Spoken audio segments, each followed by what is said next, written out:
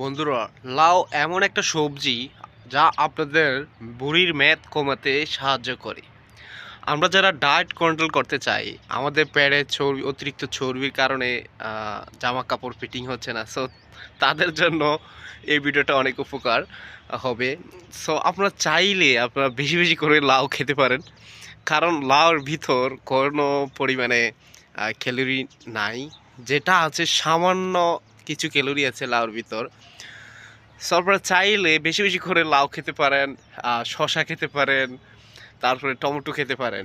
So এগুলা আপনাদের বাসা বাড়ির ছাদের উপরও চাষ করে আপনারা লাউ খেতে পারেন। যেমন দেখুন, আমার এই ছাদের উপরে এই যে লাউর যে মাচাটা আছে, এই গাছগুলো লাগানো হয়েছে সিমেন্টের ব্যাগে করে।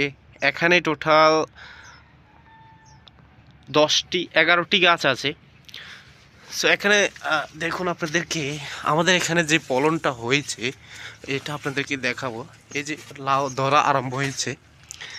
এই যে এখানে একটা লাউ দেখা যাচ্ছে। এই গাছগুলা আমরা রোপণ করেছি সিমেন্টের ব্যাগে করে ছাদের উপরে। এটা হচ্ছে তিনতলা একটা বিল্ডিং, থ্রিপ্লেক্স হাউস।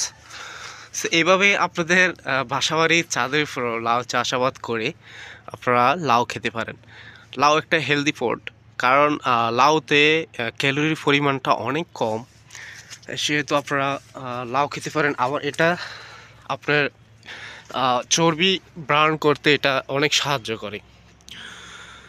আপনাদের বাসা বাড়ির ছাদের উপর এভাবেই চাষ করে লাউর সবজি, লাউ খেতে পারেন। এখানে দেখুন প্রচুর পরিমাণে লাউর যে করা আসছে এখানে, এগুলো হয়তো বা দশ থেকে বারো দিনের ভিতরে আমরা খেতে পারব এই লাউগুলা। ওই ওইখানে একটা লাউ বড় হয়েছে যা আপনাদেরকে দেখিয়েছি প্রথমে। স্যার, এখানে আমাদের পানি দেওয়ার ব্যবস্থাটা হচ্ছে, এই যে ট্যাঙ্ক আছে দুটো, এই ট্যাঙ্ক থেকে দেওয়া হয়। যেহেতু এগুলো ছাদের গ্রাউন্ড লেভেলে বসানো, সেহেতু আমরা এখানে একটা প্রেশার পাম্প বসিয়েছি, যেটা হচ্ছে হাফ গোড়া প্রেশার পাম্প সো এটার সাহায্যে এটাতে ইলেকট্রিসিটি লাইন দেওয়া আছে। এটা সম্পূর্ণ অটোমেটিক যখন আমরা যে বাল্ব পানির বাল্ব অন করব, তখন এটা অটোমেটিক প্রেশার দেওয়া শুরু করে। তো এটা দিয়ে আমরা যে কোনো জায়গায় পানি দিতে পারি।